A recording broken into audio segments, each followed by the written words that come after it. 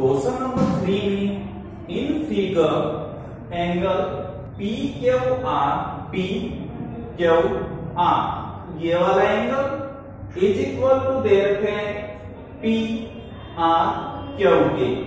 ये वाला एंगल और ये वाला एंगल दोनों इक्वल दे रखे हैं. तो हमें प्रूव करके दिखाना है कि जो angle P Q S P Q S तो यहाँ पे बन रहा है एंगल ये वाला एंगल इक्वल टू होगा पी आर टी के इस वाले एंगल के इक्वल होगा।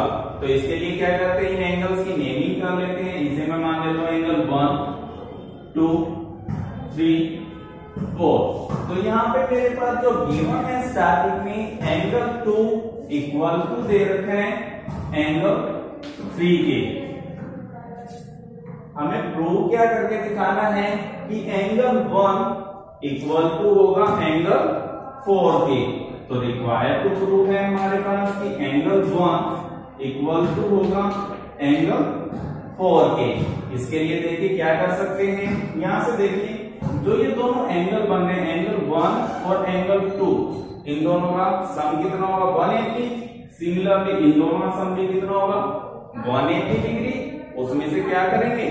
एंगल टू को और एंगल थ्री को सब्ट्रैक्ट कर दें, क्योंकि दोनों की वैल्यू सेम है। तो इसे लिखा जा सकता है angle one plus angle two is equal to होगा angle three plus angle four के। क्यों इक्वल होंगे? क्योंकि ये भी क्या लीनियर पेयर ऑफ़ एंगल है।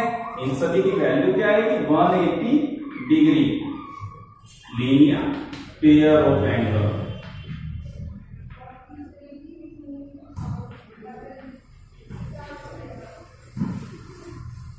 यहाँ से देखें इक्वेशन इसे टू दे लेते हैं।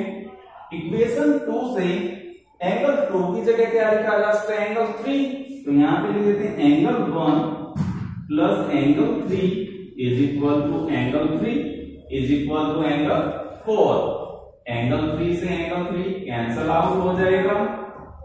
यूज़ किया हमने इक्वेशन टू तो यहाँ से angle one is equal to angle four यही हमें प्रूव करके दिखाना था हेंस प्रूव आपकी मर्ज़ी है कि आप क्वेश्चंस को पी के आर एस की फॉर्म में लिख के दिखाइए, या फिर एंगल्स को मान लीजिए वन टू थ्री फोर जैसे भी आपको इजी लगे, वैसे आप कर सकते हो।